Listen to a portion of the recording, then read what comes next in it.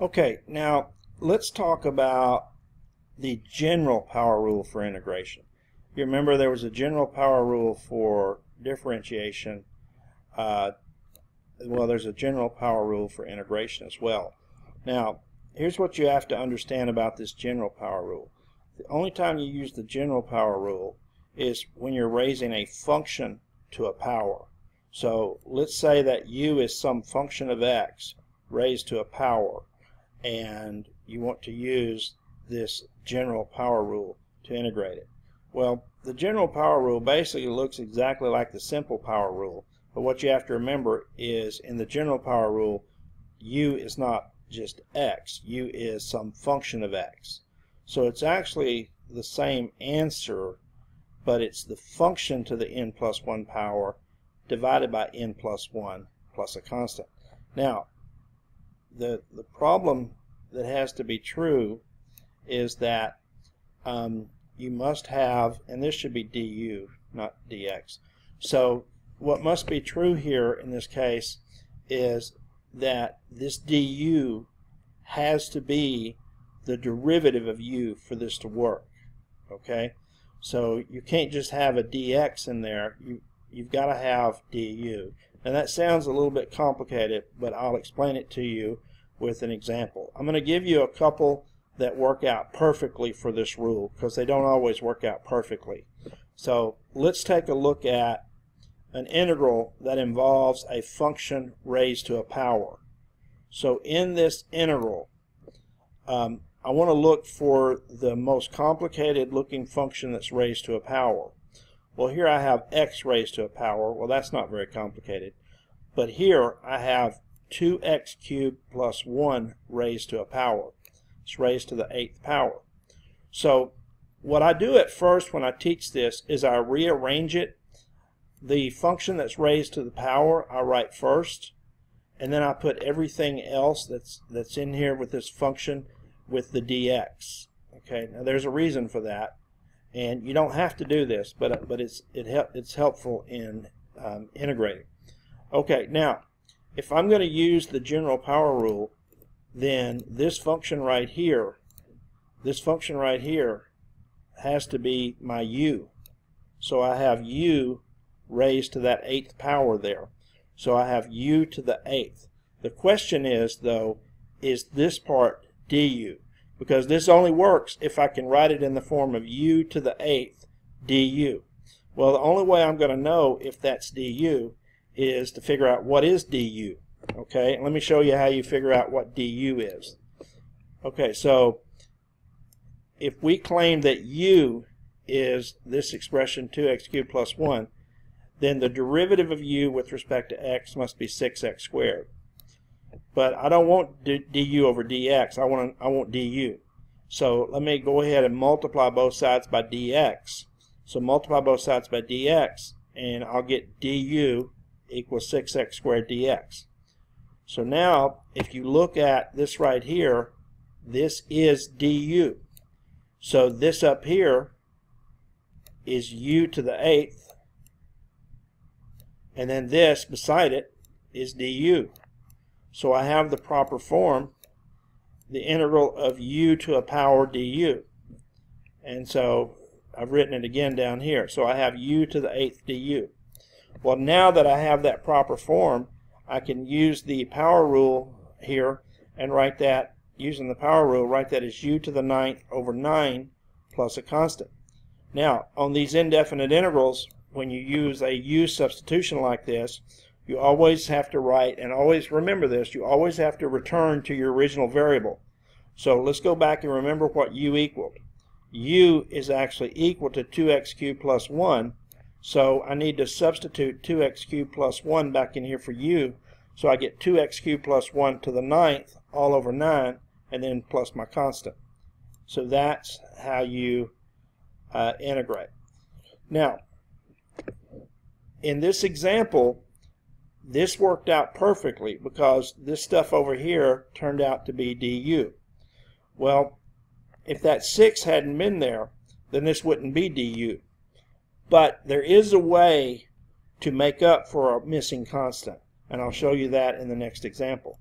So if you look at this expression, the integral of x cubed times 5x to the fourth plus 1 to the seventh power, well, you've got x raised to the third power, then you've got this complicated looking function here raised to the seventh power.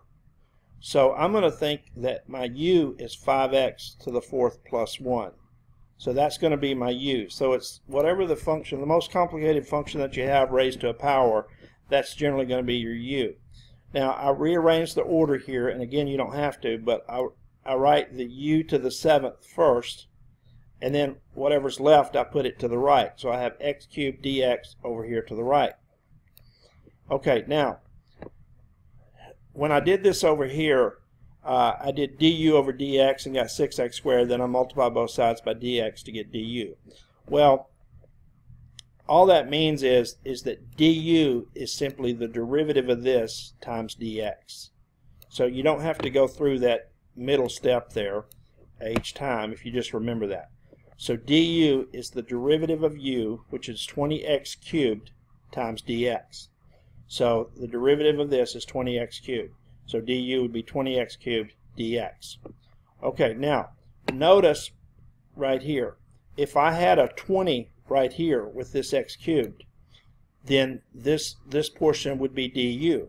But I don't have a 20.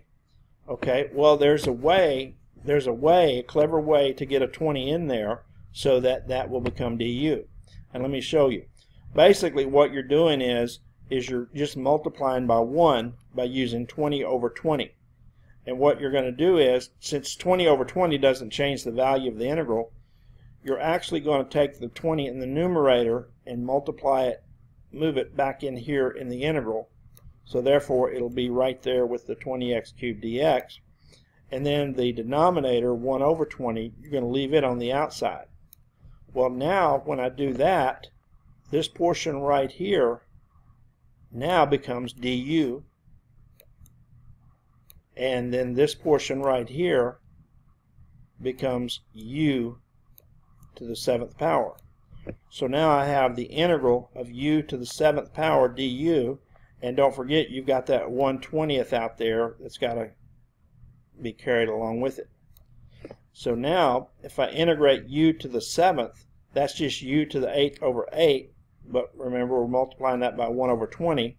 So when you multiply 1 over 20 by this, the denominator is going to be 160 because 20 times 8 is 160. And then remember, we've got to go back and replace u with what we used up here, 5x to the fourth plus 1.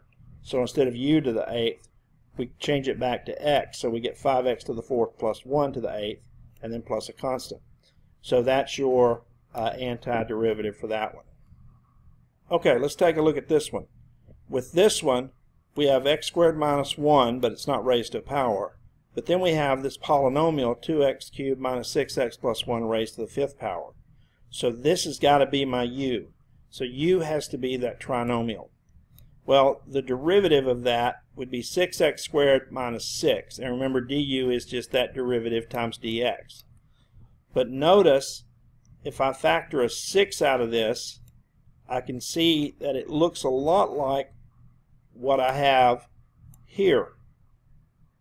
That's x squared minus 1, but du is not x squared minus 1. It's 6 times x squared minus 1 dx.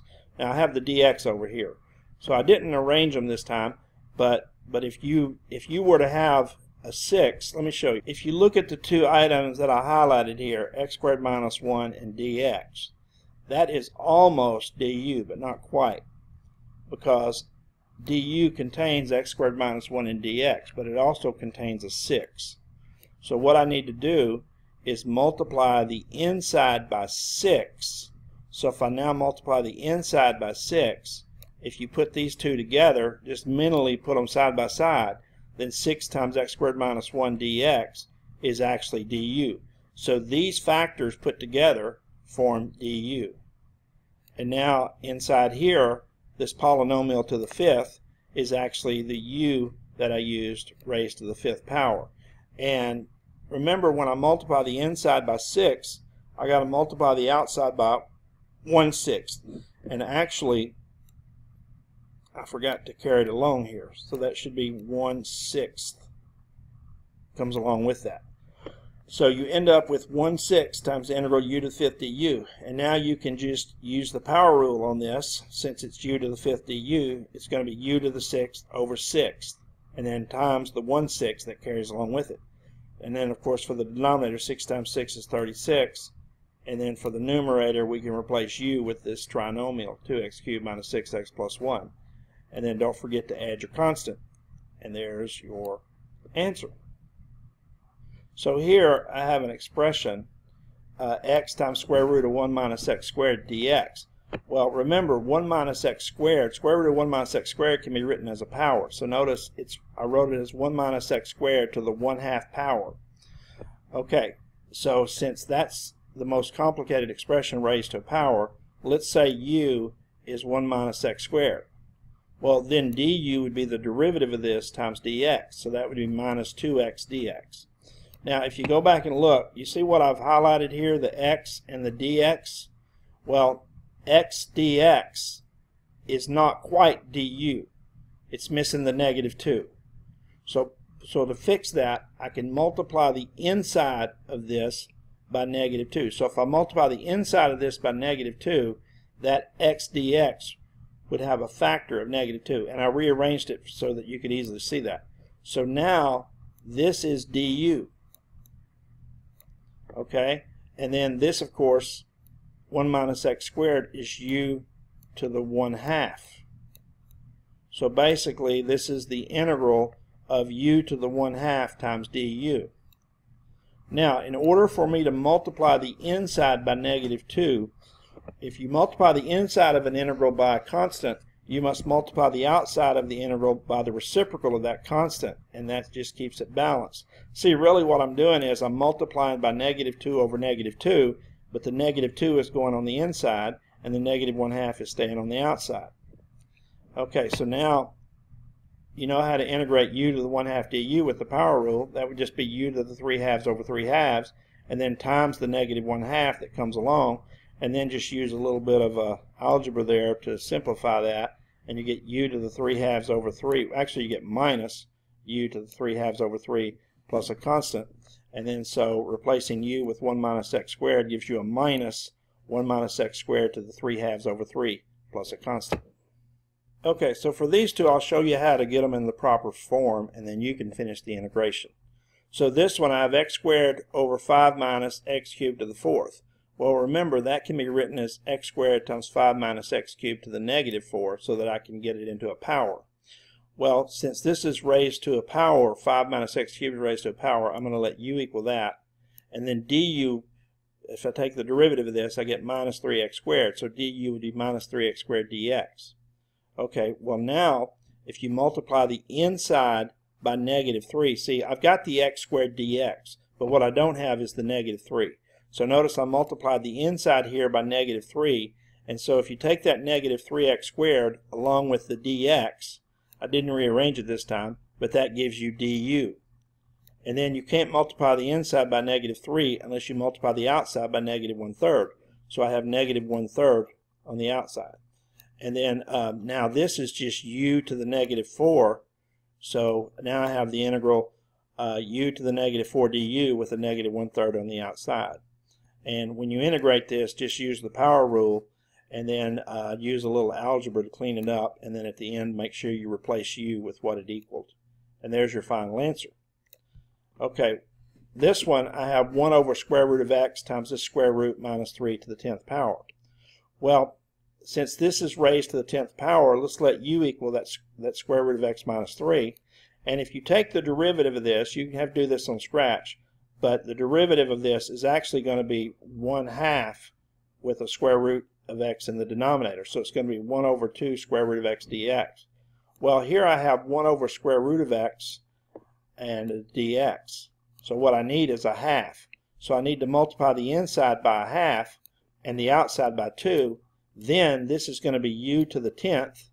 And this is all of this is going to be du. So I have 2 times the integral u to the 10th du and then you just apply the power rule and um, get 2u to the 11th over 11 plus a constant and then replace u with what it equaled up there in the beginning. Now we'll return to this rule later with definite integrals.